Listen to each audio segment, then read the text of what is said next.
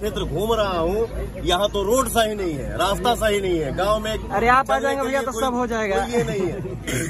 आप ही एक ऐसे कैंडिडेट है जो इस गाँव को दर्शन दिए। अगर हम आए हैं आप सभी हैं हमारे भैया चाचा नौजवान साथी हमारे माई बहन बाड़ी से। पवन क्या मांगने आया है? आशीर्वाद।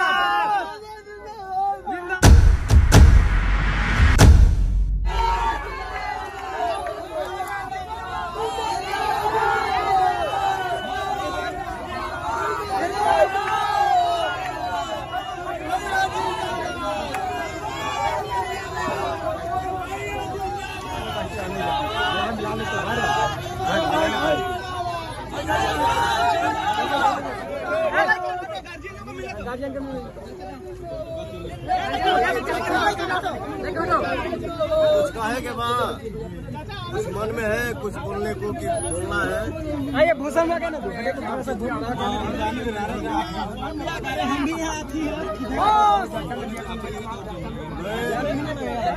एक कलाकार आदमी हूँ। आप लोगों ने ही पवन को गायक बनाया, आप लोगों ने ही पवन को हीरो बनाया। ये जीवन की तीसरी पारी खेल रहा हूँ। वो भी एक माँ भेजी है अपने बेटा को, ये बोल के कि मैं काराकाट को सौंप दिया अपना बेटा। मैं अब काराकाट का बेटा हूँ। आपने पंद्रह साल किसी को समय दिया ना? दस साल दिया ना? विकास की तो बात छोड़ दीजिए। मैं काराकाट लोकसभा क्षेत्र घूम रहा हूँ। यहाँ तो रोड सही नहीं है रास्ता सही नहीं है। गाँव में अरे आप आ जाएँगे भैया तो सब हो जाएगा। ये नहीं है। आप ही एक ऐसे कैंडिडेट है जो इस गाँव को दर्शन दिए। अगर हम आए हैं नहीं आप सभी हैं हमारे भैया चाचा नौजवान साथी हमारे माई बहन बाड़ी से। पवन क्या मांगने आया है? आशीर्वाद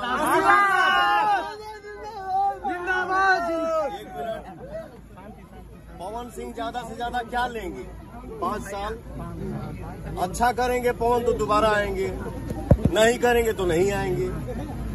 तो एक भाई और बेटा के बात पे भरोसा रखिएगा, कभी किसी को निराश नहीं करूँगा। और मुझे यहीं रहना है।